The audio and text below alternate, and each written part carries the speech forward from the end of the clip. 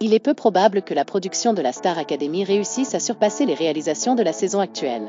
L'atmosphère semblable à celle d'un camp de vacances et les talents exceptionnels de cette promotion ont élevé les standards à un niveau impressionnant.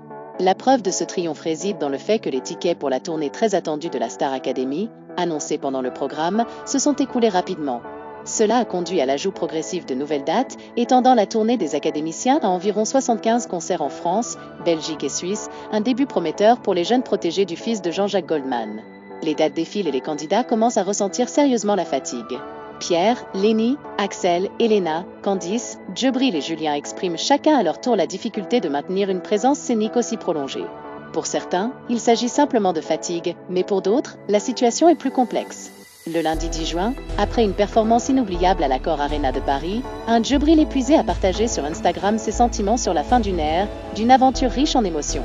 Le chanteur exprime son soulagement d'avoir surmonté la majeure partie de la tournée, en raison de l'exposition continue et les nombreuses formes de discrimination, d'exclusion et de traitement inégal qu'il a dû endurer. Ces révélations surprenantes sont poursuivies par des explications sur le fait que tous les artistes ne bénéficient pas du même traitement, et cela s'applique également aux autres participants. Ces propos semblent être corroborés par d'autres candidats. Pour Djibril, c'est une conclusion mélancolique de l'aventure.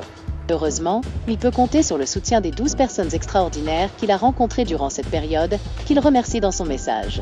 Parmi elles, Candice, qui a exprimé son soutien à son ami, suivi par d'autres académiciens.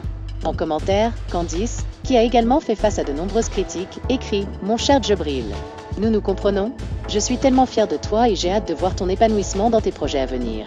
Montre-leur la star que tu es. Je t'aime. Ces mots réconfortent le cœur de Djibril et semblent valider ses propos.